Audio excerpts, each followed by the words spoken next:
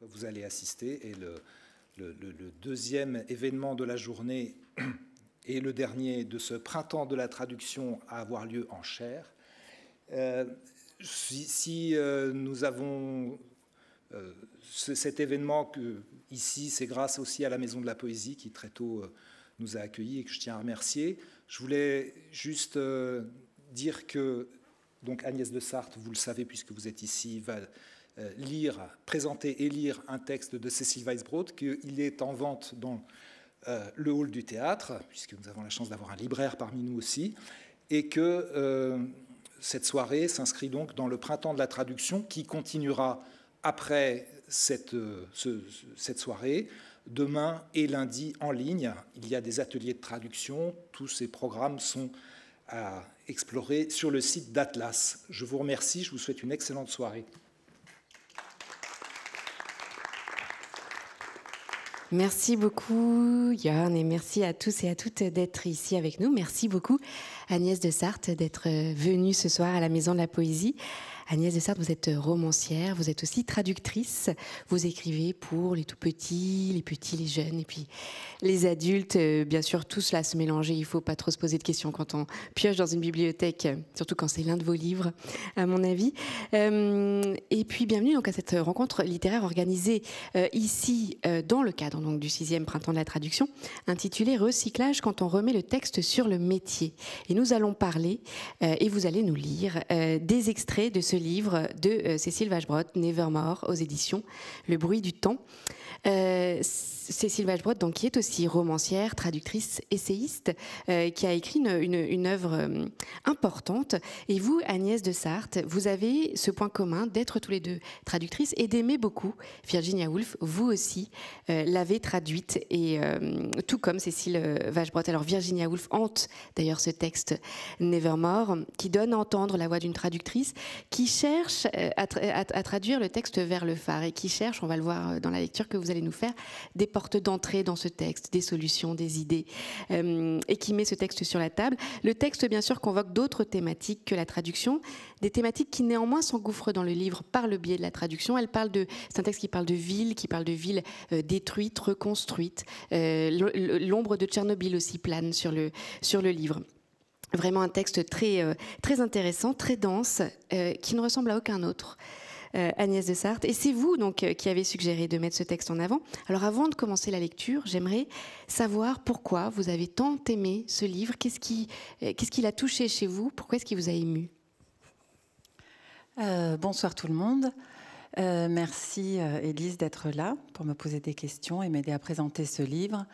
ce, ce, livre est un livre de traductrice c'est un livre d'écrivain, c'est un livre euh, où vous le verrez, euh, Virginia Woolf est effectivement extrêmement présente. Donc ça, c'était un premier pont. Et puis, euh, il s'est trouvé. Enfin, c'est un sentiment qu'on a parfois. Je ne sais pas si euh, parmi vous, il y a des personnes qui ont déjà eu cette sensation. On lit un livre et on se dit c'est incroyable, il a été fait bah, exactement pour moi. Il y a un petit accoudoir ici, là pour la tête, c'est bien. Et, euh, et, je suis un peu intimidée en fait de le présenter ce soir parce que je me dis bah, s'il me va si bien, est-ce qu'il peut aller à quelqu'un d'autre?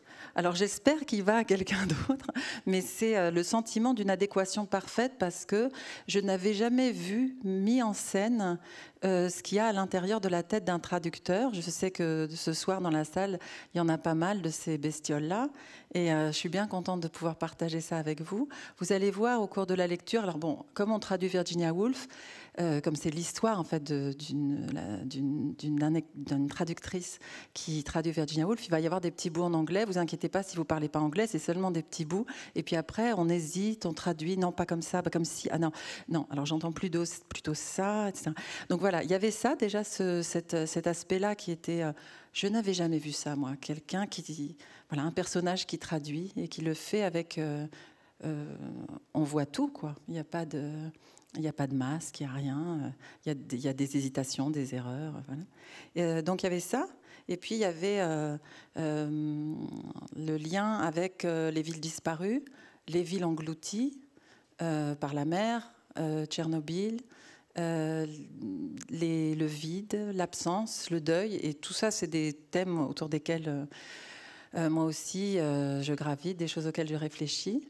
Euh, et, il m'a semblé, en plus, il se trouve que ça va être présent dans, la lecture, mais je préfère le préciser, euh, au milieu de To the Lighthouse, euh, qui a été traduit de plein de manières en français, il y a, de Virginia Woolf, il y a un chapitre, c'est même une partie, c'est un livre en trois parties, et la partie du central s'appelle Time Passes, le temps passe.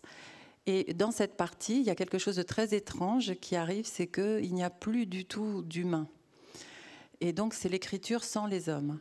Ce qui m'amène à une troisième chose, c'est que euh, il se trouve qu'avec Atlas, donc euh, qui, nous invite tous à partager ce soir cette lecture, on organise les, assises de la traduction. Là, on est au printemps de la traduction. En automne, il y aura les assises de la traduction.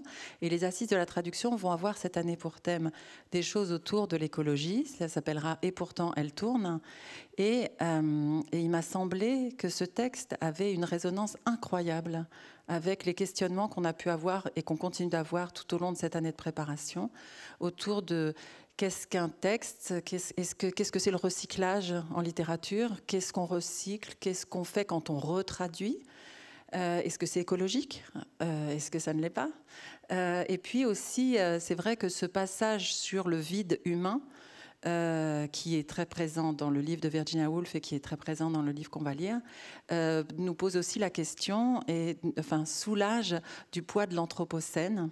Et on se dit ah fou, au bout d'un moment on sera plus là et c'est bon, tout reprendra et ce sera merveilleux. Euh, et, et, voilà, donc ça pose toutes ces questions. Un livre qui parle de de tout ça. Alors, je ne vais pas le lire en entier, hein. je vais en lire quand même 40 minutes. Et de toute façon, comme après vous allez l'acheter, c'est pas grave, vous, aurez l'impression d'avoir, tout. Mais en fait, non. Il y a plein de choses que je laisse de côté, mais énormément. En particulier, une histoire géniale de cloche, plusieurs histoires géniales de cloche, à vrai dire, et des tas d'histoires géniales de musique. Et ça, vous l'aurez pas. Vous pourrez me torturer, vous l'aurez pas. Vous serez obligé d'acheter le livre. Voilà. J'ai répondu à votre question. Oui, merci beaucoup Agnès de. Eh bien, Écoutez, vous nous avez donné très envie d'écouter. Moi, je l'ai lu, mais j'ai envie de l'entendre maintenant. Et euh, je propose que vous, vous lanciez dans la lecture. Eh bien, merci par avance pour votre indulgence, car c'est une lecture hmm, pas facile.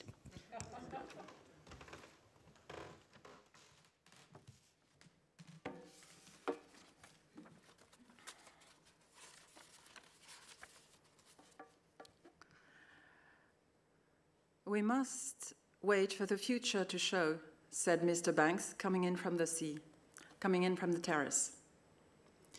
Il faut attendre que l'avenir se montre, dit Mr. Banks, euh, venant de la terrasse. Il faut attendre de voir ce que l'avenir nous réserve, dit Mr. Banks, arrivant de la terrasse. Il faut attendre que le futur se montre, dit Mr. Banks, entrant à l'intérieur depuis la terrasse. Il faut voir ce que l'avenir nous réserve, dit Mr. Banks entrant de la terrasse. Voyons ce que l'avenir nous réserve. Attendons de voir ce que l'avenir. Eh bien, il faut attendre que l'avenir, dit Mr. Banks, arrivant de la terrasse. Il était une fois une femme qui écrivait dans une grande ville, une capitale, écrivait La maison perdue au bord de la mer où elle n'allait plus depuis longtemps, et le temps perdu, ou plutôt le passage du temps. Une femme écrivain qui cherchait à saisir l'instant, disait-elle, mais aussi la trace de la présence humaine dans l'éternité. Dans un livre dont le titre To the Lighthouse fut traduit en français par La promenade au phare, le mouvement du tout se retrouvant dans le mot promenade. Mais peut-on appeler la traversée de la mer vers le phare promenade? Une promenade ne se fait-elle pas plutôt sur la terre ferme? Plus tard, d'autres titres s'ajoutèrent Voyage au phare, vers le phare, au phare, échouant un peu tous devant l'évidence du tout. It's almost too dark to see, said Andrew, coming up from the beach. Mr. Banks n'est pas le seul personnage, il n'est pas non plus le personnage principal, pas plus qu'Andrew. Sont-ils même des personnages? Il fait presque trop sombre pour voir, dit Andrew, revenant de la plage. Euh, il fait presque trop noir pour voir, dit Andrew, revenu de la plage. Il fait trop noir, presque, pour voir, dit Andrew en revenant de la plage. Trop sombre, trop noir pour voir, pour y voir quelque chose, revenant, revenu de la plage, coming in, coming up. Ces postpositions sont un véritable casse-tête. Faut-il les rendre avec précision? Faut-il les ignorer? Bien sûr, elles ajoutent quelque chose, et ce quelque chose est une nuance importante. Mais serait-il si grave de les laisser de côté au profit du rythme et de la répétition? Ou de se résoudre à marquer la différence par une simple lettre, venant, revenant, et puis trop sombre pour voir quoi? L'avenir? La nuit tombe, va tomber, ils rentrent l'un après l'autre. One can hardly tell which is the sea and which is the land, said Prue. Andrew et Prue appartiennent à la famille Ramsay, tandis que Mr. Banks est un ami de la famille. La famille Ramsay est le cœur du roman, ou plutôt, c'est la mère, Mrs. Ramsay. Elle a huit enfants, dont Andrew et Prue, dont James aussi, le plus jeune, qui veut aller au phare et à qui sa mère promet qu'ils iront, tandis que son père lui dit qu'ils ne pourront pas y aller. Nous irons, dit la mère, s'il ne pleut pas. Mais il pleuvra, dit le père. James déteste son père. Toute la haine qu'un enfant peut éprouver parfois envers son père est concentrée dans cet échange, dans la question de savoir s'il pleuvra le lendemain. D'un côté, la mère qui donne de l'espoir à son fils et cherche à le conforter, de l'autre, le père qui s'en tient au fait. Tu te berces d'illusions, dit-il à Mrs. Ramsay. Il est évident qu'il pleuvra. Le lendemain, en effet, il pleut. Mais pour Mrs. Ramsay, il y a quelque chose de plus important que les faits. Ce sont ces choses qui, comme les nuages, passent dans le ciel des enfants et que certains adultes s'efforcent d'ignorer, ne sachant plus lever les yeux, se détacher de la pesanteur de la terre, ces choses insaisissables que Virginia Woolf tente de saisir dans To the Lighthouse et dans ses autres livres, aussi insaisissables que la traduction de ce to dans d'autres langues. Do we leave that light burning? said Lily as they took their coats off indoors. No, said Prue, not if everyone's in. Laisse-t-on la lumière brûler? Laisse-t-on cette lumière brûler? dit Lily, comme ils ôtaient leur manteau à l'intérieur. Laissons-nous la lumière allumée? dit Lily, tandis qu'ils enlevaient leur manteau, rentrés à l'intérieur. Non, dit Prue, pas si tout le monde est rentré. Non, dit Prue, puisque tout le monde est rentré. Laisse-t-on brûler la lumière? dit Lily, tandis qu'ils ôtaient leur manteau. Non, dit Prue, si tout le monde est rentré. Et indoors pourquoi ne pas le laisser de côté puisqu'il entrera à la phrase suivante? La traduction est une science inexacte, une tentative toujours non vouée à l'échec, mais à l'imperfection. D'une langue à l'autre, la barque du passeur se heurte à des obstacles qu'elle affronte ou contourne, des vagues ou une simple houle, des courants contraires ou porteurs. C'est une traversée avec un point de départ et un point d'arrivée, mais de l'un à l'autre, une seule personne connaît le voyage et ses écueils, celle qui en a parcouru toutes les étapes.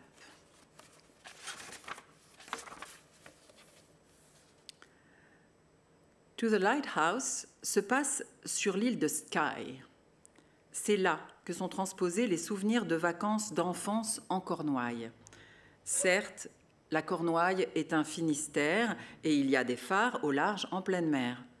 Mais que le phare se trouve sur un îlot, lui-même au large d'une île, que peut-être une famille habite sur une île, réfugiée sur un îlot du temps appelé vacances, tout cet archipel donne à la maison, à la mer, à la nuit, une dimension absolue. Je tourne autour. Je suis ici pour quelque chose, ou plutôt contre quelque chose.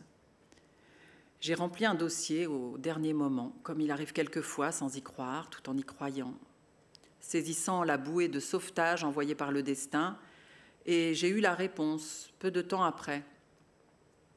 Ce que je proposais avait été retenu.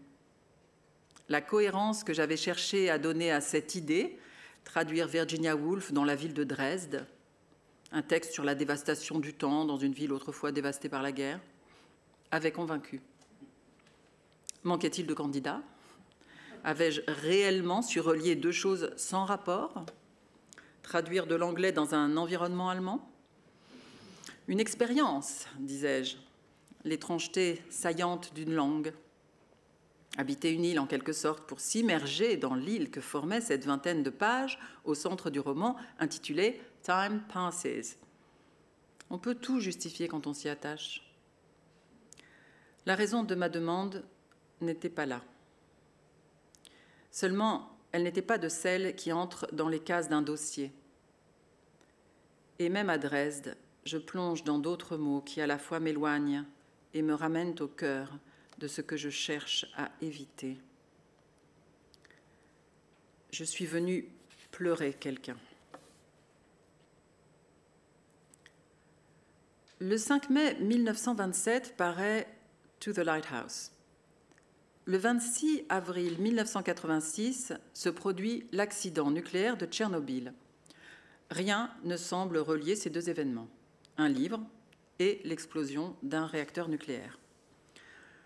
En 1927, il n'y a pas de centrale nucléaire, même si le radium a été isolé depuis quelque temps et ses propriétés radioactives découvertes. Il faudra attendre les années 50 pour que les premières centrales soient construites, d'abord aux États-Unis, puis en Union soviétique, puis en France. Parmi ceux qui travaillaient dans la centrale nucléaire de Tchernobyl, combien ont pu lire To the Lighthouse? Peut-on dire avec certitude personne? Le roman a été traduit en Union soviétique en 1976 sous le titre Na Mayak. Transcription littérale, la préposition na indiquant le mouvement, puis le mot mayak, phare. Il n'y a pas d'article en russe. Mrs. Dalloway suivra en 1984, puis Flush en 1986. Quelles pensées ou quelles arrière-pensées, quels hasards auront présidé à cet ordre? Après, il faudra attendre l'éclatement de l'URSS, l'effondrement de l'Empire pour avoir accès aux vagues à Orlando, à Entre les Actes. Tchernobyl et le phare. 59 ans d'écart. L'essai s'est produit dans la nuit du 25 au 26 avril 1986. Il s'agissait de tester le circuit d'alimentation électrique de secours et sa capacité à maintenir le réacteur en fonctionnement en cas de coupure de courant. À 1h23 heure locale, le test débute. Dans la cuve, la température monte et il suffit de 40 secondes pour que le réacteur explose. Ou plus exactement, c'est une dalle de béton qui explose. Un poids de 1200 tonnes qui retombe sur le réacteur, le brise, tandis qu'un incendie se propage. Une série d'erreurs, de négligences, de mauvaises décisions vient s'ajouter. On agit tard, on ne comprend pas tout de suite, on ne veut pas savoir. L'accident, on l'appelle d'abord accident ou nuage, annoncé d'abord par la Suède et confirmé dans la soirée par la Russie. Mais l'ampleur de la catastrophe, comme celle de toutes les catastrophes, ne se mesure qu'après coup.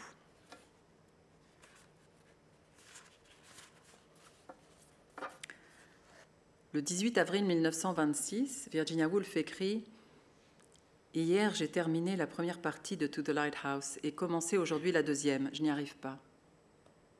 C'est le passage le plus difficile, le plus abstrait. Je dois rendre une maison vide. Aucun personnage humain. Le passage du temps, le tout sans regard et sans trait, rien à quoi se raccrocher.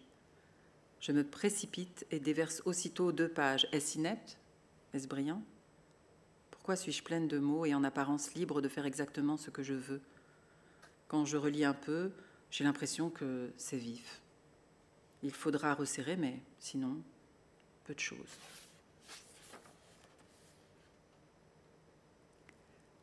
Là-bas, sur des terres lointaines, au large d'une ville nommée Pripyat et d'une centrale appelée Tchernobyl, là-bas, dans un territoire d'une trentaine de kilomètres carrés, se trouve une zone d'exclusion qu'on appelle aussi zone interdite, dont 135 000 personnes furent évacuées et qui vit en dehors de toute présence humaine depuis plus de 30 ans comme la maison du phare vécue sans habitants pendant dix ans.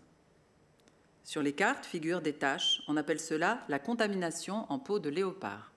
Mais pour déterminer la zone interdite, on ne peut pas se permettre un tracé compliqué, alors on dessine un cercle.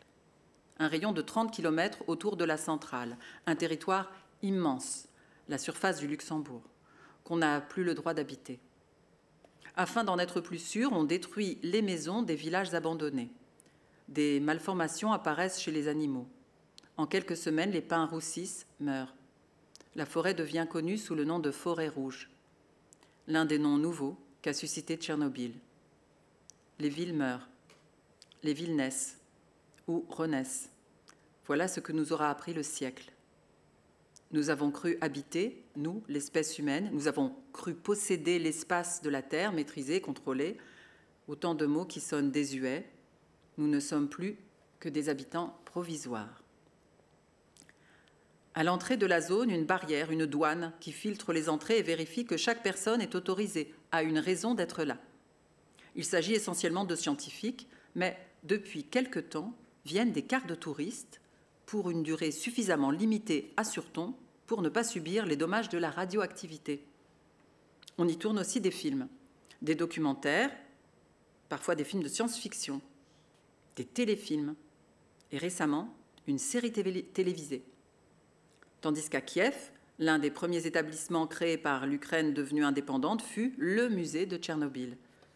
Les habitants de Pripyat, où logeaient les ouvriers de la centrale, avaient été essentiellement évacués dans la capitale, à 110 km de distance. Au musée, tout est répertorié, expliqué. On voit des modélisations du réacteur, les uniformes blancs des liquidateurs, on voit des photos d'enfants évacués, les papiers d'identité de ceux qui sont morts au combat contre le feu, croyant n'éteindre qu'un incendie alors qu'ils luttaient contre des particules invisibles qui allaient s'étendre sur toute l'Europe, contre une guerre de nature inconnue où l'ennemi avait pris l'apparence trompeuse du feu. Dans la dernière salle, consacrée à la propagation de l'accident, on montre la trajectoire du nuage. Et pourtant, certains, dit une guide, croient toujours que le nuage a épargné leur pays. Perdre quelqu'un. Le silence qui ouvre une pièce musicale. C'est le fond sur lequel se tracent nos vies ce qui leur donne relief. Je ne peux pas dire que je vois son visage, bien que par moments il se dessine vaguement, et puis je n'ai jamais su ce qu'était une image mentale. Mais j'entends sa voix, étrangement, sans mots, une musique sans paroles, ou le souvenir de paroles entendues, l'ombre de paroles dites, comme les traces d'habitation dans la maison de Time Passes. Pourtant, des gens vivent ici. Revenus quelques jours après l'évacuation, des vieilles femmes surtout, ils disent des babouchkas. Sont-elles vraiment grand-mères? Il y a peu d'hommes, c'est vrai. Elles cultivent leur jardin au sens propre. On les laisse faire. Où voulez-vous qu'on aille? demande-t-elle. On a toujours vécu ici. Les risques de radioactivité, on les supporte, comme les rhumatismes. Ce n'est pas plus visible, pas plus réel, et plutôt moins Jusqu'à maintenant, c'est sans douleur. Les noms varient selon les époques et les villes disparues, englouties sous les eaux ou villes fantômes de la ruée vers l'or, cités aztèques détruites, on ne sait trop comment, les guerres, la famine, on donne toutes sortes d'explications, cités enfouies dans un tremblement de terre. Certaines sont reconstruites, tandis que d'autres sombrent définitivement. Et parmi celles-ci, quelques noms ont franchi les époques avec leur histoire, leur légende, l'Atlantide, Vignetta. Voilà ce que je cherche, tout ce qui manifeste les signes de l'absence. Dans ce passage de To the Lighthouse, tous les mots pour dire emptiness, a world hollowed out, un monde creusé, vidé, et shadow, reflect, ces présences fantomatiques que sont les ombres, les reflets, on pourrait dire encore les silhouettes, les contours et les formes et l'écho toute chose en cache une autre, toute apparence, non sa réalité, mais une autre réalité. Je suis partie il y a quelque temps, là-bas, ici, à Dresde, non sur une île déserte, mais dans une ville naguère détruite. Il y a longtemps, il n'y a pas si longtemps, 75 ans, c'est beaucoup, ce n'est pas beaucoup, c'est réel, c'est irréel. Mais la ville est là et porte le même nom et s'attache à conserver la mémoire d'une nuit de bombardement aérien en l'inscrivant sur des plaques commémoratives, sur des monuments restaurés par des célébrations, en même temps qu'elle s'emploie à l'effacer en reconstruisant à l'identique les édifices qui firent sa gloire.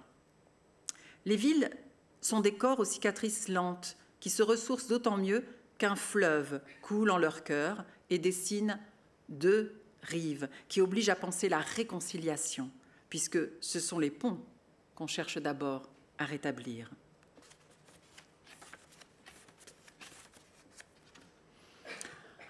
On pourrait dire que la grande affaire du XXe siècle fut l'inconscient, son affleurement, sa mise à jour, son exploration, que nombre des habitants du XXe siècle furent des aventuriers de l'inconscient.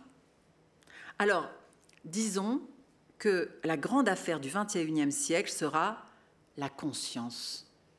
Non sa découverte, mais son exploration, sa définition, ses limites. Les animaux ont-ils une conscience? Et les arbres? Les robots? L'intelligence artificielle Jusqu'à quel point? Une anthropologie des algorithmes vient de se créer, alliance de mots contradictoires, dont le but est d'étudier leur comportement pour mesurer leur marge d'autonomie, leur pouvoir de décision, en d'autres termes pour savoir s'ils possèdent une forme de conscience. Those stray heirs, advance squads of great armies, blustered in, brushed bare boards, nibbled and fanned, met nothing in bedroom or drawing room that wholly resisted them, but only hangings that flapped, wood that creaked, the bare legs of tables, saucepans, and china, already furred, tarnished, cracked. Ces airs vagabonds, non, non, pas de démonstratif, souvent il faut adapter, traduire un indéfini par un défini, ou l'inverse, faire des ajustements mystérieux. Les airs vagabonds, gardes avancés des grandes armées, ou avant-garde de grandes armées, tempêtaient, entraient en tempêtant, effleuraient les planches nues, les parquets nus, les sols nus. Mais si ce sont des sols, la vision du bois disparaît mordillaient, attisaient, ne rencontraient rien dans la chambre ou au salon qui leur résista pleinement, mais seulement des rideaux, des tentures qui claquaient, du bois qui craquait, les pieds nus des tables, des casseroles et de la porcelaine déjà entartrée, ternie, craquelée. Quel chantier Dans la maison, certes, ces courants d'air qui se promènent et qui, là où ils auraient dû se heurter à des choses solides, la présence humaine est faite de résistance, ne rencontrent que leur propre substance malléable, aérienne, souple, mouvante. Le style même de Virginia Woolf, si difficile à rendre, fait de juxtapositions, d'envols successifs et d'atterrissage en douceur quand la phrase ne reste pas en suspens. Les courants d'air vagabonds, à l'avant-garde des grandes armées, pénétraient en tempête, effleuraient le sol nu, rongeaient, rafraîchissait, ne se heurtait dans la chambre, au salon, à aucune résistance, mais seulement au battement des rideaux, au craquement du bois, aux pieds dénudés des tables, au tartre, au ternissement et au craquellement des casseroles et de la porcelaine. Est-il convaincant de remplacer les verbes par des substantifs? N'alourdit-on pas un peu, beaucoup. Et puis fand, euh, l'image d'un éventail si légère, rendu par rafraîchir, trop long, mais fraîchir n'irait pas non plus. Le dictionnaire euh, dit attiser, ah, mais c'est exactement l'inverse.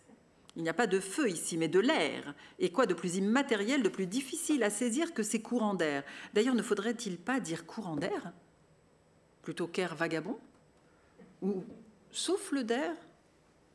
Les gens sont partis et l'air prend possession comme les miroirs tout à l'heure, prenaient l'initiative de savoir ce qu'ils reflétaient. Il y avait un miroir dans la petite salle de bain attenante à la chambre où j'étais logée, qui contenait une douche, un lavabo et donc ce miroir au-dessus du lavabo. Impossible de se voir entièrement, seulement le visage, comme si le reste du corps n'existait pas. Avancer malgré tout, ou essayer pour chaque phrase de trouver une version qui soit au moins satisfaisante. Advance squads of great armies. C'est l'écho de la guerre, encore, la grande guerre, à travers tout le poème en prose qui a pour nom Time Passes. La guerre fera furtivement irruption, en écho, seulement comme toute activité, toute présence humaine. Les tonalités sont inversées. Mode majeur pour les objets, pour ce qu'on appelle la nature, mode mineur pour les hommes. Une nouvelle voie pour la littérature, une nouvelle façon de comprendre le monde. Les ours sont revenus, ou, plutôt sont venus car jamais il n'avait habité cette partie de l'Ukraine, ni l'Ukraine. Et les chevaux de Przewalski ont été introduits dans la zone interdite. Dans un documentaire intitulé Tchernobyl, une histoire naturelle, on précise que ce sont les plus vieux qui ont été choisis pour l'expérience, ou ceux qui étaient malades, pour ne pas mettre en danger l'avenir d'une espèce menacée. Mais contre toute attente, les chevaux de Przewalski ont prospéré et donné naissance à d'autres si bien que d'une vingtaine en 1998, ils étaient devenus une cinquantaine 20 ans après. C'est un mystère, disent les chercheurs. Les animaux de la zone interdite présentent un taux de radioactivité énorme, mais vivent normalement et semblent être en parfaite santé. Quant à la flore, elle aussi, elle prospère. Dans la forêt rouge, les pins desséchés ont laissé la place au bouleau. Là où s'étendaient des champs de blé, n'apprenait-on pas autrefois que l'Ukraine était le grenier à blé de l'Union soviétique, poussent désormais des arbres et des herbes et se sont installés, réinstallés, des cours d'eau, une sorte de réincarnation dans le souvenir d'une vie antérieure. Ce que le travail humain a défait, sa disparition le reconstitue, à la fois semblable et différent autre chose que les chercheurs tentent de comprendre. Au cœur de la zone interdite, ils ont créé des laboratoires. Chaque jour, ils franchissent les frontières et repartent le soir en lisière de la zone. Certains y vivent cependant. Un laboratoire squatte les lieux d'une ancienne crèche. Le directeur a fait son jardin potager. Il expérimente, établit des faits. Les cerises sont radioactives, mais la radioactivité se loge surtout dans le noyau. On peut donc en manger la chair. Pour les pommes de terre et les concombres, pas de problème. Mais le raisin, le cassis ou l'oseille, pas question.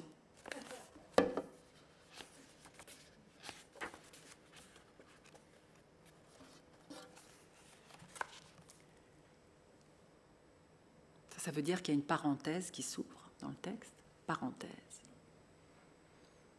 Prue Ramsay leaning on her father's arm, was given in marriage that May. What, people said, could have been more fitting? And they added, How beautiful she looked. Même pour une phrase aussi simple, que de possibilités. Par exemple, Prue Ramsay au bras de son père, mais alors on perd leaning, appuyé, s'appuyant, penché, fut donné en mariage, toujours cet euh, passif actif, pour ainsi dire, s'agissant de personnages humains, en ce mois de mai. En mai. Quoi de plus adapté disaient les gens? Comment pourrait-on rêver mieux disaient les gens? Et, ajoutait-il, à, qui parle-t-il? Est-ce à Mrs. McNabb, la femme de ménage, à, qui on apprend la nouvelle? Ou sont-ce les commentaires le jour du mariage? Comme elle était belle. Look. On la regarde une scène purement extérieure dans laquelle il n'y a aucune certitude, juste des échos et des apparences. Ce n'est pas qu'elle a l'air belle, mais qu'on la voit et qu'on la trouve belle. Alors cela pourrait donner Prue Ramsay, conduite au bras de son père, pour respecter le rythme et l'image, même si ce n'est pas tout à fait le sens, fut donnée en mariage en mai, fut mariée en mai. Euh, comment pourrait-on, disaient les gens, rêver mieux? Et, ajoutait-il, comme elle était belle, Prue Ramsay, conduite au bras de son père, fut mariée au mois de mai. Comment rêver mieux disaient les gens. Ils ajoutaient Et comme elle était belle La mort, la maladie, le mariage, les enfants, tout se passe entre parenthèses.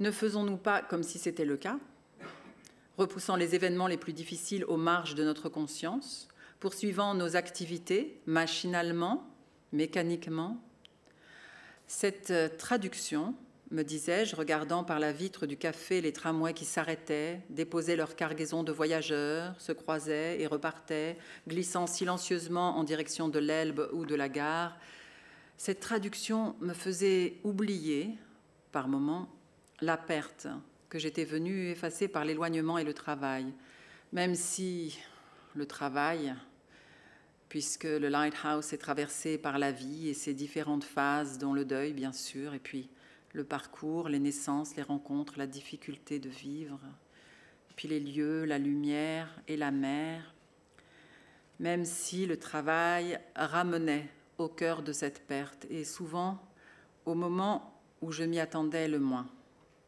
pour un mot, une image. Qu'y a-t-il de privé dans la perte de quelqu'un, de personnel? Qu'y a-t-il de collectif? Que peut-on partager? Faut-il garder les souvenirs en silence ou doivent-ils, peuvent-ils être racontés? Ce que chacun dira se rejoindra-t-il? Bifurquera-t-il pour se retrouver un peu plus loin? Ou ces chemins de traverse demeureront-ils parallèles à jamais? Je gardais en mémoire des conversations, des moments, des sourires, des expressions, des intonations, mais tout cela ne faisait pas une personne, tout au plus un souvenir, et il fallait désormais vivre avec ces éclats en tentant de recomposer une image. Avant, je n'avais pas conscience de la confiance qu'il faut, par exemple, pour acheter un livre et le ranger dans sa bibliothèque en se disant je le garde pour plus tard. Ou commencer et puis le reposer, sentant que le moment n'est pas encore venu. La confiance qu'il faut pour se dire plus tard, pour penser qu'on pourra, qu'il ne sera pas trop tard et donc, voir quelqu'un de loin en loin, ne pas penser à chaque fois, y aura-t-il une autre fois? Croire à la continuité des choses. Prendre des rendez-vous trois semaines à l'avance. Programmer un voyage, tout ce qu'on fait sans y penser. Et un jour, quelqu'un disparaît et on regrette. Si on s'était vu davantage, si on avait su, si telle parole, au lieu de tomber dans le silence ou de rester implicite, avait été relevée, commenter, estimer à sa juste valeur, si telle réponse avait résonné autrement. Ce qu'on garde, ce qu'on oublie, ce qui est là sans qu'on le sache et qui peut-être ressurgira un jour, ce qui est définitivement perdu. Aura-t-il su? Aura-t-elle su ce qu'il représentait, ce qu'elle comptait? Cette place désormais vide. Qu'en faire?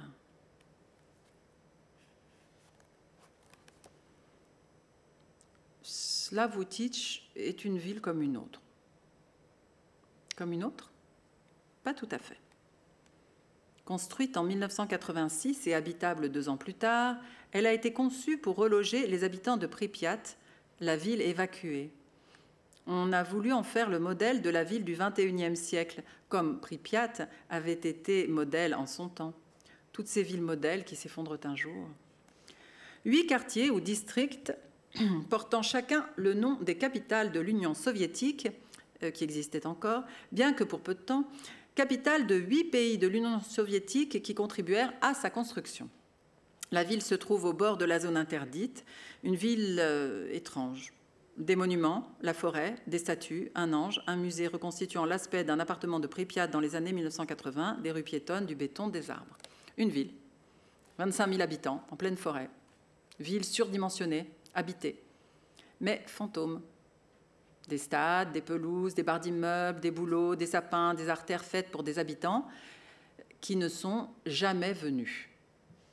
Les vrais habitants sont peut-être les statues les mémoriaux, ces visages imprimés dans le marbre, les liquidateurs, les morts à Tchernobyl, les héros.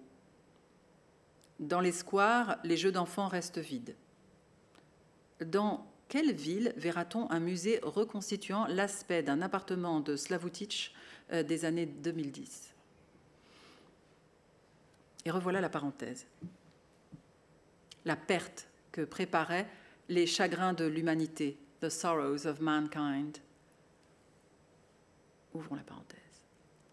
Prue Ramsay died that summer in some illness connected with childbirth, which was indeed a tragedy, people said. They said nobody deserved happiness more. Une apparente indifférence. Indifférence apparente? Pro N'était-ce pas celle qui venait de se marier au bras de son père il y a une page à peine? Et qui était si belle? Le temps passe, il passe avec ce qu'il contient, Prue Ramsay mourut cet été d'une maladie liée à la naissance d'un enfant, ce qui était une vraie tragédie, disaient les gens. Ils disaient que personne ne méritait davantage le bonheur. Voilà deux phrases faciles en apparence et qui pourtant recèlent un certain nombre de pièges. Prue Ramsay mourut cet été-là d'une maladie liée à un accouchement. Euh, l'accouchement déjà ne va pas. Il faudrait peut-être dire dû à son accouchement. Mais en anglais, il n'y a pas d'adjectif possessif. Rien n'indique la possession ni la personne. Tout est impersonnel. People said, they said, les gens disaient, ils disaient, ils disaient que personne ne méritait autant d'être heureux. Ah, c'est déjà mieux. Mais la première phrase est inextricable. Prue Ramsay mourut cet été d'une maladie, pour bien faire, il faudrait ajouter quelconque, d'une quelconque maladie, due à un accouchement. Non, enlever quelconque. Euh, Prue Ramsay mourut cet été d'une maladie liée, provoquée, par un accouchement, ce qui était une tragédie, vraiment, dire les gens. Ils dirent que personne ne méritait autant d'être heureux. Ils disaient, ils dirent. Dans cette parenthèse, rien ne doit dépasser. Tout doit être égal, comme la plage sur laquelle les gens qui cherchent une réponse se promènent le soir. Prue Ramsay mourut cet été-là d'une maladie provoquée par un accouchement, ce qui était une réelle tragédie disaient les gens. Ils disaient que personne ne méritait autant d'être heureux. L'imparfait, décidément, est moins saillant que le passé simple. J'aurais aimé écrire, créer un monde, le décrire, le voir, le peupler. Ma familiarité avec les textes que je traduisais s'arrêtait aux pages du livre. Je ne voyais pas au-delà de ce qui était écrit. Certes, je connaissais le texte intimement, j'en pénétrais le sens, je pouvais établir des liens à des pages de distance, mais tout était contenu dans le livre. Je pouvais supposer des explications, établir des rapprochements, des allées et venues entre la vie de l'auteur et ce qu'il ou elle avait écrit. Mais il m'était impossible de retracer le processus de création, le cheminement qui avait conduit quelqu'un à écrire telle chose. Il y avait parfois la correspondance, le journal, ou différents états du texte, mais tout cela ne constituait que des traces visibles. L'intimité réelle du créateur, nul n'y avait accès. Sinon, peut-être d'autres créateurs. La traduction était sans doute un travail de recréation, mais ce n'était pas une création, dans la mesure où il y avait une base, un texte non seulement présent, mais définitif, comme s'il avait toujours été là, comme s'il n'y avait jamais eu d'étape, de chemin, d'hésitation.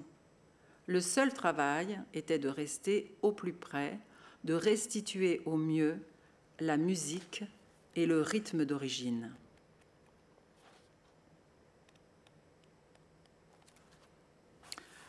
Les affaires de Mrs. Ramsay.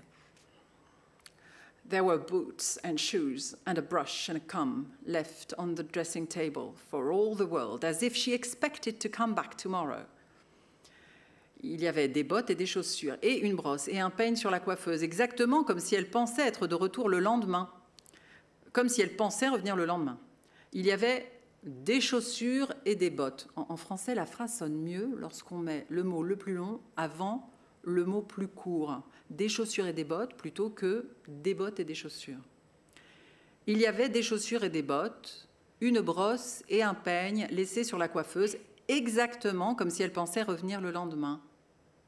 Comme à Pripyat, cette salle de classe abandonnée, les tables et le tableau, les chaises et ailleurs les jouets d'enfants, des livres ouverts, ces images qui circulent dans le monde sur Internet et ailleurs, qui circulent dans les esprits et ont fait de Pripyat le symbole d'un monde interrompu, d'un monde qui n'a plus cours. Sunrise, une ville de Floride qui compte près de 85 000 habitants. Comme dans chaque ville, il y a des routes, un cinéma, des écoles, des commerces, la police, des voitures à vendre, à louer, un magasin Ikea, des équipes sportives, tout ce qu'il faut. Rien qui la distingue des autres villes. Mais en septembre 2010, Sunrise disparaît de Google Maps. Un mois entier. Ce n'est pas très grave, se dit-on, puisque la ville existe encore. Eh bien non, la ville n'existe plus. Si on cherche un serrurier, un électricien, un plombier, si on cherche un réparateur, un café, un dentiste, quelqu'un ou quelque chose à Sunrise, on ne trouve rien.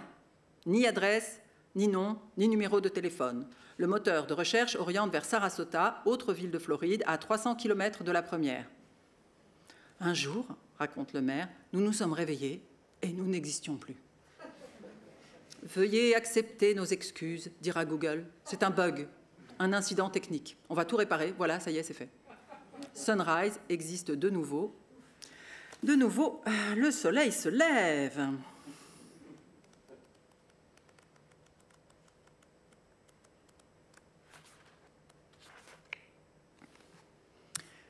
Le jour tombait, était tombé.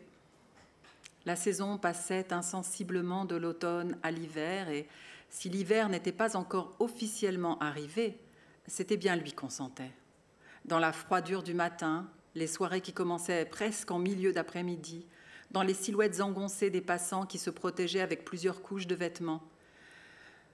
J'étais décidée, maintenant, lorsque j'aurais fini la traduction de Time Passes, ou plutôt le survol, à repartir. Partir, entrer, revenir.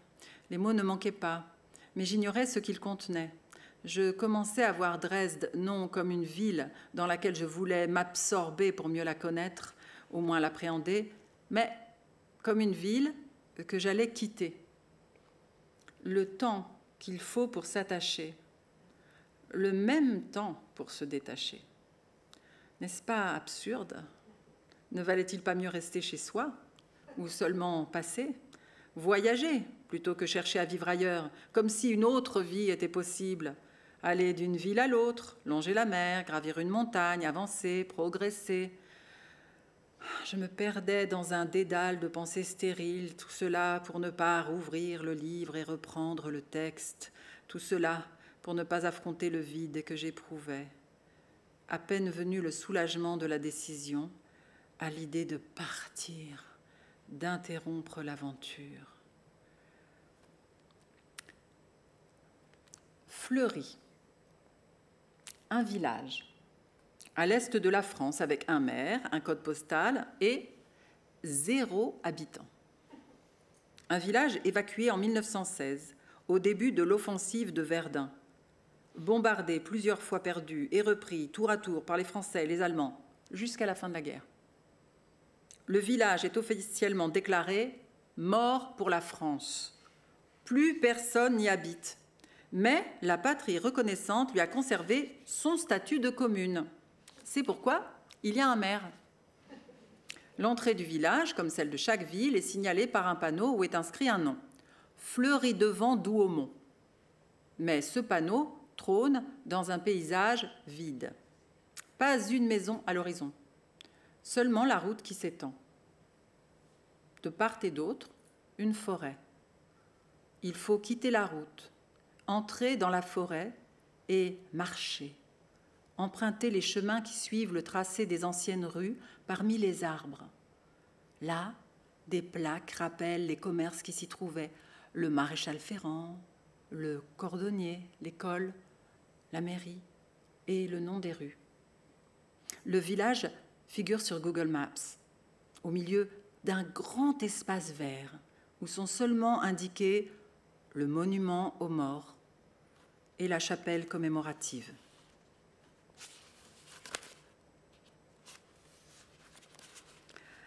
At last, after days of labour within, of cutting and digging without, dusters were flicked from the windows. The windows were shut too. Keys were turned all over the house. The front door was banged.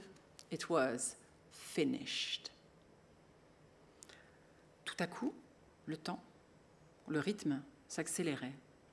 Ce qui s'annonçait comme un treizième travail d'Hercule s'était achevé en quelques lignes, commençant, il est vrai, par At last, enfin, enfin, après des journées de labeur à l'intérieur, des journées à creuser et couper à l'extérieur, des chiffons furent secoués par les fenêtres, les fenêtres furent fermées, les clés tournées dans toute la maison, la porte d'entrée fut, fut claquée, c'était fini. Il fallait garder la voix passive, car à travers elle restait un peu de l'atmosphère d'antan. Ce monde que l'espèce humaine avait déserté et qui laissait présager ce qu'il pourrait être après l'apocalypse annoncée, si elle se produisait, si la plume se posait, si la zone interdite de Tchernobyl s'étendait. Mais la machine à dénucléariser venait d'être inventée les liquidateurs de ce nouveau combat, liquidatrices en l'occurrence, étaient des femmes de ménage, armées de leurs pauvres instruments, balais et pelles, chiffons à épousseter, et elles avaient été victorieuses. Nous terminons sur euh, le triomphe des femmes de ménage. C'est pas si souvent.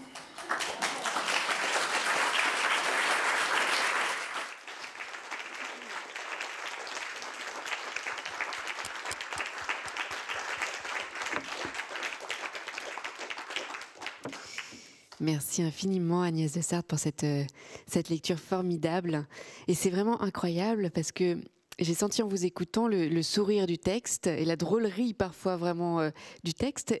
En le lisant, c'était moins évident pour moi. C'est assez étonnant d'avoir cette perspective-là. J'ai un peu peur de ce que va penser Cécile Weisbrot hein, si jamais elle m'écoute. En même temps, Cécile Weisbrot est très drôle. Elle a énormément d'humour. Alors, je le sais, alors j'en profite. Euh, mais euh, bon, c'est vrai que je suis un peu un clown moi-même, hein, mais, euh, mais c'est le texte qui est comme ça. Il y a énormément d'esprit. Il y a énormément d'esprit. Mais c'est souvent quand on lit si un livre est grave, il y a beaucoup de gravité dans ce livre. Le deuil est partout, le vide, l'apocalypse, et puis euh, voilà, on n'est pas épargné sur les catastrophes dont on sait en plus qu'on ne mesure l'ampleur que bien longtemps après. Euh, on n'ose pas rire, hein. on est un peu. Ouh là là, c'est un livre drôlement sérieux, va falloir, va falloir pleurer. En fait, oui et non, parce que c'est sans arrêt drôle. Hein. Et moi, je l'ai lu comme ça. Bon, c'est après tout, c'est une interprétation, comme une traduction est une interprétation. Moi, j'ai toujours trouvé, en traduisant Virginia Woolf, que c'était un écrivain extraordinairement drôle. Il y a plein de gens qui lisent en pensant, en se fiant à sa photographie sur la couverture, et comme elle est comme ça, ils pensent que c'est un livre triste. Mais non, non, ces livres ne sont pas forcément tristes. Alors j'aimerais qu'on parle de la, de la retraduction, puisque ce, texte, euh, donc vers le phare, to the lighthouse, c'est c'est pas un texte neuf, c'est un texte qui a été déjà traduit plusieurs fois et qui là fait l'objet d'un travail. Et effectivement, c'est quelque chose auquel on pense beaucoup quand on lit le livre, et on se dit mais est-ce qu'un texte finalement, c'est comme une comme une planète, comme un monde, quelque chose qui, euh, dont on peut épuiser les ressources, une langue. Est-ce qu'on peut épuiser une langue comme on épuise des ressources? Ou est-ce que ça se régénère à l'infini? Est-ce qu'on peut traduire à l'infini le même texte? Euh, Alors, euh, je n'avais pas pensé à ça dans ces termes-là, mais c'est très joli. tous les textes n'ont pas le même statut selon moi, hein, mais c'est selon moi. Hein. Je crois qu'il y a des textes qui ont une telle profondeur poétique qu'ils sont inépuisables. Euh, et c'est le cas des textes de Virginia Woolf. Quand, alors, je trouvais ça très intéressant d'aborder ce thème qui est un thème théorique, le thème de la retraduction. Faut-il retraduire? Pourquoi retraduire? Par une œuvre de fiction. Parce que comme me le rappelait d'ailleurs Cécile l'autre jour au téléphone, elle me dit Attention, je, n'ai pas retraduit, je ne l'ai pas vraiment fait, cette chose que je dis que je fais. Elle, a, traduit euh, les vagues. Mais To the Lighthouse, elle le traduira peut-être, mais elle l'a pas encore euh, fait tout ce travail. Ce, n'est pas un texte publié, c'est un texte qui est présent comme ça à l'état d'avatar, de, fantôme, de, voilà, dans, ce roman. Et euh, donc je ne crois pas qu'on puisse épuiser un texte. Euh, alors c'est marrant parce que je me souviens qu'à une époque, j'avais des étudiants et je leur avais expliqué au cours d'une rencontre pourquoi euh, les, textes les traductions vieillissaient et pas les textes, et il fallait retraduire parce que euh, les traductions vieillissaient. Et j'avais une théorie. Et si, jamais il y a un ancien étudiant à moi dans la salle qui se souvient de ce que j'ai dit ce jour-là, j'adorerais qu'il se lève et qu'il monte sur scène et qu'il prenne la parole pour m'expliquer ce que j'avais dit, parce que j'ai complètement oublié. Espoir, non. Es-tu là? Étudiant, étudiante, es-tu là? Non, ils sont pas là. Bon, c'est pas grave. Euh, mais sur ce thème de, l'épuisement, de ce qui se passe. Pourquoi est-ce qu'on peut toujours revenir sur un texte? Elle cite, euh, Cécile Weisbrod cite plusieurs titres. La promenade au phare, au phare, vers le phare, rien que le titre est déjà une constellation. Ensuite, il faut voir aussi comment elle, parle à un moment, elle dit, c'est un moment que j'ai lu où elle dit euh, la phrase de Virginia Woolf qui, ses atterrissages en douceur, euh, et encore quand la phrase ne reste pas en suspens. Bon. C'est un auteur qui, euh, qui travaille la syntaxe d'une manière pas ordinaire du tout, et qui déjoue tous les, tous les, je sais pas comment dire, tous les latinistes obsessionnels qui peuvent dormir au fond euh, de chaque traducteur. C'est-à-dire qu'elle s'amuse, par exemple. Je donne un petit exemple pour, pour, pour, qu'on comprenne. Une chose qu'elle fait, c'est que elle, euh, euh, elle joue sur les deux tableaux. Elle se sert de la syntaxe pour dévier le sens des mots. Donc on a l'habitude de dire, bon, une langue, voilà, c'est la syntaxe, c'est le lexique, et puis ben, on se débrouille, hein, on croise, c'est comme des mots croisés, une abscisse, une ordonnée, enfin quelque chose de ce genre-là. Alors elle, elle mélange complètement les deux, elle les fait interagir, et par exemple, grâce à la distributivité, par exemple, de certains verbes, elle vous bouge complètement, elle vous envoie un, un mot valdingué dans un paradigme complètement différent. Je précise, il y a une phrase justement au début de euh, To the Lighthouse dans laquelle on voit un petit garçon découper une image de frigo. Bon. On a un frigo, ok, vous gardez l'image, le frigo, et il y a sa mère qui est là, Mrs. Ramsay, très belle, magnifique, il l'adore, et elle parle. Et à la fin de la phrase, sans virgule avant, sans rien, il y a un petit, une petite particule adverbiale, enfin un petit morceau, un petit appendice adverbial. Il y a marqué with heavenly bliss. Heavenly bliss, félicité céleste, une divine félicité. Et alors, tous les gens qui voient cette phrase, tout de suite, ils associent la divine félicité à Mrs. Ramsay. C'est maman. Maman est heureuse et maman est belle et on est content quand on regarde maman. Mais en vérité, si vous regardez bien, le verbe qui vient avant, ça marche pas complètement. C'est pas maman, c'est le frigo qui est comme ça.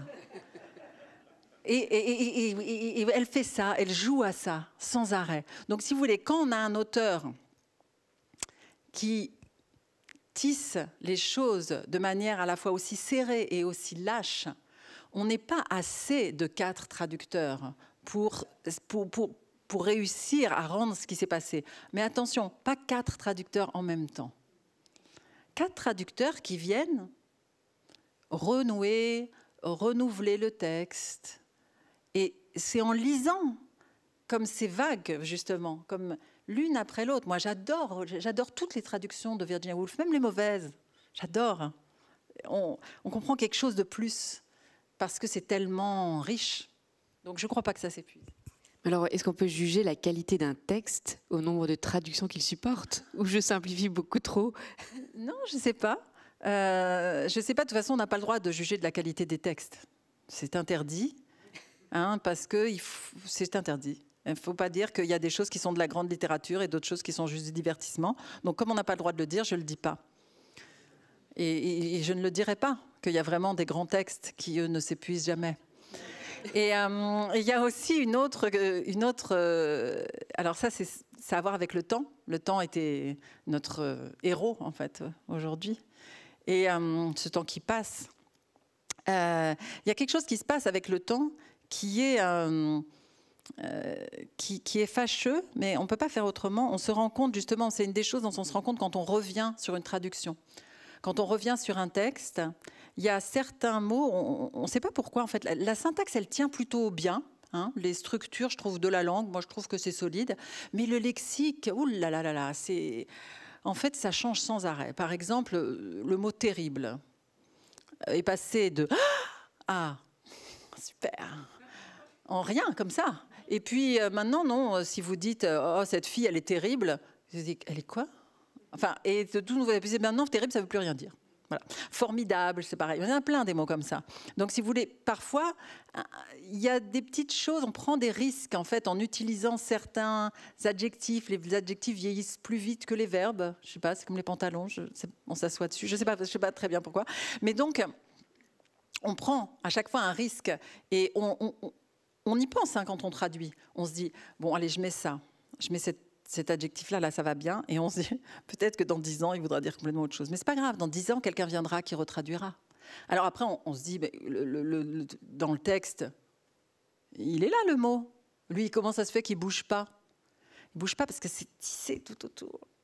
C'est ce qu'elle, c'est de l'ordre de l'inexplicable. Elle en parle de cette histoire du texte qui est créé et de la recréation qui a lieu au moment de la traduction. Même si pour moi, tous les textes, même le texte d'origine, est une sorte de fantôme d'un texte qui existe, je ne sais pas où, mais moi j'ai une vision un peu mystique. Donc, euh, j'ai l'impression que même un texte, euh, la, première main, est déjà une traduction. Mais, euh, voilà, il y a aussi cette, cette idée que on n'en a jamais assez parce que la langue bouge et il faut qu'on bouge avec elle et on ranime, on ranime des œuvres comme ça. Et c'est arrivé que des, des, œuvres très importantes tombent dans une sorte d'oubli et que ce soit une traduction qui les ranime, qui les fasse revenir, y compris dans leur propre pays.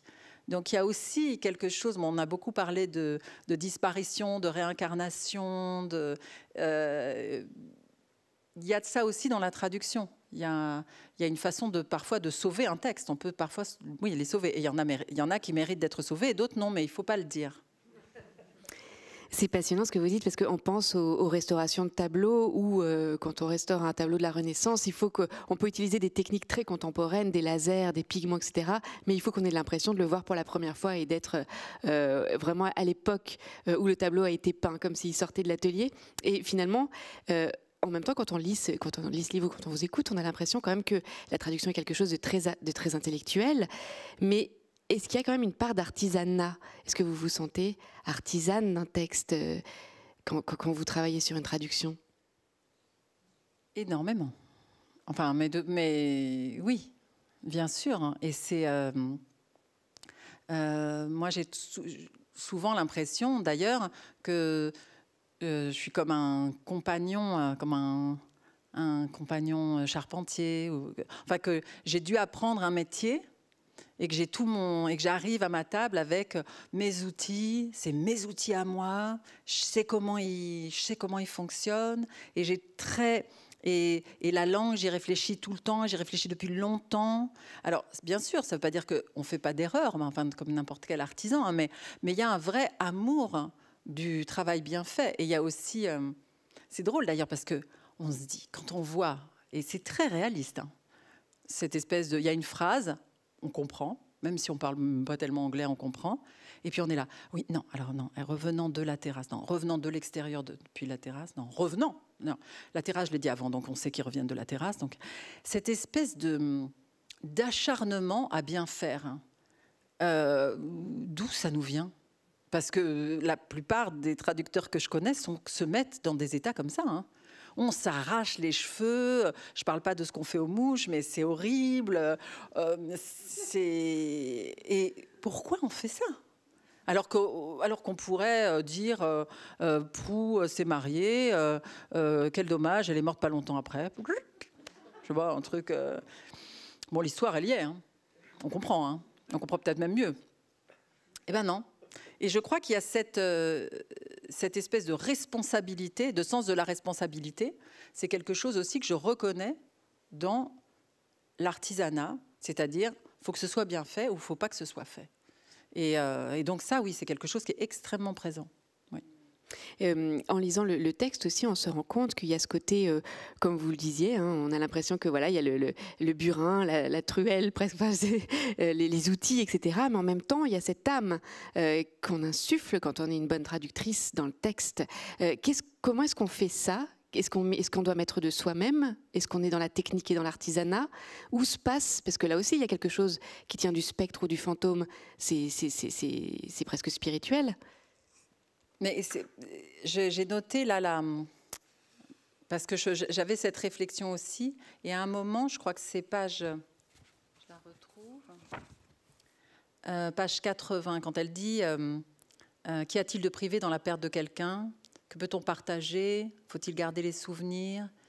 Ce que chacun dira se rejoindra-t-il?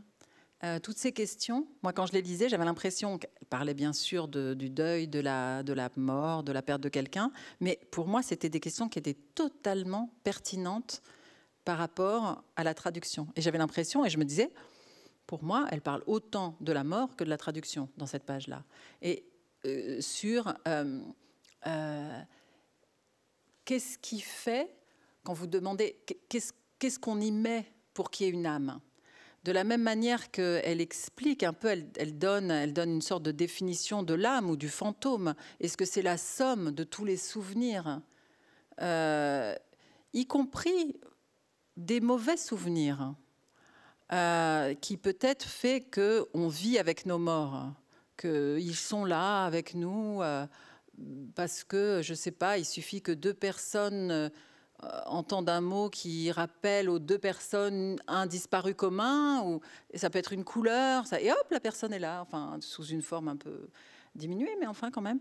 Et, euh, pour moi, il y a quelque chose de, de cet ordre-là, c'est-à-dire quelque chose de l'ordre d'un kaléidoscope, que c'est pas... Euh, que c'est pas justement, vous parliez de laser dans la, euh, dans la restauration de tableaux. Alors pour moi, c'est le contraire. C'est pas du laser. Ça veut dire, c'est pas très précis. C'est pas très précis et pourtant c'est exact. C'est-à-dire, il y avait une, je pense que peut-être pas mal de personnes ici ont vu ce très beau film qui s'appelle La femme euh, aux cinq éléphants sur cette traductrice de Dostoïevski.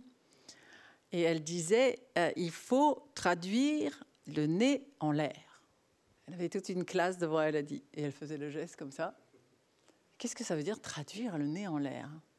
Et elle disait, parce que si on traduit le nez en bas, ça veut dire qu'on regarde le texte. Mais il faut le regarder, mais à un moment, il faut lever le nez et on ne le voit plus. Et c'est ce qui reste du texte qu'on traduit. Et après, on vérifie qu'on n'a pas fait n'importe quoi. Parce que le grand risque, c'est justement de convoquer cette terrible personne qui est égo. Parce que vous demandez, est-ce qu'on doit y mettre de soi? Alors non, alors surtout pas, ne jamais mettre de soi dedans. C'est vraiment une recette ratée pour moi. C'est comment rater son gâteau. Il ne faut pas mettre soi. Mais parfois, on le met sans faire exprès. On l'enlève. Mais une des façons de ne pas euh, le mettre, c'est d'accepter cette espèce de chose euh, d'état euh, qui est pour moi, c'est pour ça que je trouve ce, livre exemplaire de ce point de vue-là, c'est que l'état dans lequel on est quand on traduit, qui est une espèce de transe. On est, euh, on est avec l'esprit de l'autre, on est avec son texte, on est avec la langue, on est avec les structures, on est avec les temps, le système de notre langue, le système de l'autre langue. Tout ça tourbillonne. C'est pour ça que ce n'est pas du tout du laser. Il y a plein de monde. C'est un grand, c'est un grand chahut. Mais ce qui va nous guider, c'est euh, la présence très forte du texte. Elle dit à un moment comment savoir comment il s'y est pris pour arriver là? Qu'est-ce qui a présidé Pourquoi il a écrit ça plutôt qu'autre chose? Et elle dit qu'elle aimerait le savoir et qu'elle ne le sait pas. Elle le sait en fait. Mais elle ne veut pas dire qu'elle le sait. Mais c'est de c'est de l'humilité. Enfin, il y a quelque chose d'une retenue incroyable. Euh, mais en fait, quand on lit les traductions de Cécile Weisbrot, on sait très bien qu'elle sait, mais elle ne sait pas qu'elle sait. Bon, alors c'est pas grave de ne pas savoir qu'on sait. Mais si cet état est là, enfin, si on a à la fois l'outil, on a les bons outils, et si on accepte de se mettre dans cet état, c'est-à-dire dans l'état d'un accueil absolu d'un corps étranger, parce que le texte est un corps étranger, mais il faut l'accepter complètement en tant que corps étranger. Si on est dans cette disponibilité-là, alors il y a de grandes chances que ça marche. Mais voilà, c'est vaste, c'est pas, c'est pas comme ça, c'est pas le laser. pour, moi en tout cas, c'est l'image que je m'en fais. C'est pour ça qu'il y aura autant de traductions que de traducteurs. C'est aussi parce que c'est comme il y a autant de souvenirs d'une même personne. C'est, c'est peut-être ça le lien avec le deuil aussi. C'est tout à fait pour ça. Mais c'est aussi pour ça que pour moi, c'est pas tout le monde en même temps. Parce que si tout le monde en même temps, alors euh, c'est la cacophonie. Euh, et puis c'est toujours celui qui a la plus grande gueule qui va, qu'on va entendre le plus. Donc c'est chacun son tour. Et c'est très bien comme ça. Alors quel est le lien entre l'écologie et la traduction? Parce qu'il y en a un et on s'y attendait quand ah même. bah, on espère bien à Atlas parce que notre prochaine édition, euh, c'est quand même sur l'écologie. Donc s'il n'y a pas de lien, bah, on est mal. Hein. Euh, en fait, euh, la traduction, euh, bon, on a la chance d'être dans, une discipline où on aborde toutes sortes de, toutes sortes de sujets. Donc déjà, c'est un sujet, au sens où c'est une thématique à partir du moment où il y a une nouvelle thématique, et c'est pas une nouvelle thématique, ça devrait être une très ancienne thématique, mais il se trouve qu'on n'en parle pas tant depuis, enfin, on n'en parle pas depuis si longtemps que ça. Il y a des nouveaux termes qui se mettent en place, il y a des nouvelles façons de prendre la parole, il y a des, nouveaux livres qui arrivent, qui n'auraient pas, qui n'auraient pas existé avant. Donc la traduction, forcément, suit le mouvement et s'empare de tout ça, étudie tout ce qui se passe, voilà, ça c'est un exemple, c'est le minimum. Après, il y a la question de, des langues. Il y a des langues qui meurent. Il y a des langues qui dominent d'autres langues. Il y a des langues qui ont des monopoles. Euh, il y a des langues qui polluent d'autres langues. On peut dire ça. Je ne dis pas que c'est le cas, mais on pourrait dire, on pourrait dire, tiens, euh, il, y a, un peu trop de ça. Euh, peut-être que qu'est-ce qu'on fait avec les langues qui meurent est-ce qu'on les, euh, les préserve? Est-ce qu'on les met dans un musée? Est-ce qu'on les conserve? Est-ce qu'on fait un, on dit, euh, une réserve naturelle de langue morte? Euh, Il peut y avoir toute une réflexion qui a l'écologie comme armature, hein, mais qui concerne en fait les pratiques linguistiques dans le monde. À l'écrit, à l'oral, les deux sont possibles. Euh, et puis, euh, il y a aussi cette question qu'elle soulève au moment de la conscience, quand elle parle de la conscience. Euh, elle dit qu'il y a cette anthropologie des algorithmes. Quand même, il fallait oser quoi, utiliser cette, faire fabriquer ce couple. et on est dans un moment où le les machines, certaines machines, certains robots peuvent nous remplacer, nous traducteurs, puisqu'il y a, euh, il y a la traduction euh, par, assistée par ordinateur qui fonctionne très bien, parfois. Et donc, euh, ça aussi, c'est une question écologique, c'est-à-dire comment on va vivre ensemble, comment on va vivre avec DeepL, comment on va vivre avec, euh, avec des correcteurs euh, qui, qui sont à l'intérieur de nos ordinateurs, par exemple, et qui vont nous proposer des formes auxquelles on n'aurait pas pensé, mais qui, se, qui surgissent comme ça en dessous, avec une petite croix, avec un petit je sais pas quoi, un petit cœur peut-être. Donc c'est aussi ça, aussi c'est une question euh, comment voilà comment on va vivre ça? Est-ce qu'il y a une transition? Euh, donc vous voyez, en fait, et là je dis que c'est seulement certains des fils qui vont être tissés, mais en fait, c'est euh, on est au cœur de la question, bizarrement, avec la traduction. Oui, parce qu'il y a quelque chose de très philosophique et de, vous le disiez en introduction, mais de rassurant euh, de se dire que tout peut être. Alors vous, vous disiez, euh, on sera plus là et ça ira mieux, mais moi, je me dis, tout n'est pas perdu. On peut prendre un texte qui, qui a besoin d'être restauré et on peut toujours, le, même si on a l'impression que qu'on peut plus le comprendre aujourd'hui, qu'il est plus lisible, que, que c'est perdu, en fait, les traducteurs et les traductrices sont là aussi pour nous dire non, on peut, on peut, on peut rattraper, on peut récupérer, on peut restaurer, réparer. Et puis c'est aussi le cas avec ces villes. Oui, alors je disais ça pour voir s'il y avait des gens qui réagissaient, pour voir s'il y avait des gens qui avaient envie de vivre dans cette salle. en fait, c'était un, un, test. et bon, ben, pas, pas, trop. Bon, mais, mais c'est pas grave. C'est pas grave. On peut, vraiment, euh, voilà, y aller euh, gentiment. Hein. Mais euh, donc bien sûr, je ne trouve pas que ce sera mieux quand on sera plus là, mais ce, qui est, ce qui est assez, ce qui est à la fois terrible et magnifique dans ce texte, c'est aussi cette façon qu'on a de faire des allers-retours entre la catastrophe, l'apocalypse. Il s'appelle Nevermore ce livre, ce qui veut dire jamais plus, et le retour. C'est-à-dire, bon, ça revient. Il y a quelque chose qui revient. Il y a des, vieux chevaux qui arrivent à faire des enfants chevaux. Il y a des vieilles dames qui n'ont pas très mal. elles sont là, elles font leur jardin, elles sont revenues. Il y a des ruisseaux. Bon. Qu'est-ce, que ça nous raconte tout ça? Et euh, donc, il y a cette, euh, euh, de, la même manière que cette, comment dire, que cette absence, qu'une longue absence peut créer une sorte d'appel. On ne sait pas. Elle dit c'est mystérieux et les, et les scientifiques ne comprennent pas exactement tout ce qui se passe dans cette zone-là. Bon, cette espèce de façon de s'absenter et de revenir, le texte, il possède ça aussi. C'est-à-dire qu'il euh, y a des textes qui disparaissent, qui sont retrouvés, qui sont pris en charge par des traducteurs, qui les traduisent, qui vont nourrir une littérature pour après. Et puis c'est la fameuse euh, la fameuse euh, phrase de Isaac Bashevis-Singer quand on lui demandait pourquoi il écrivait encore en yiddish.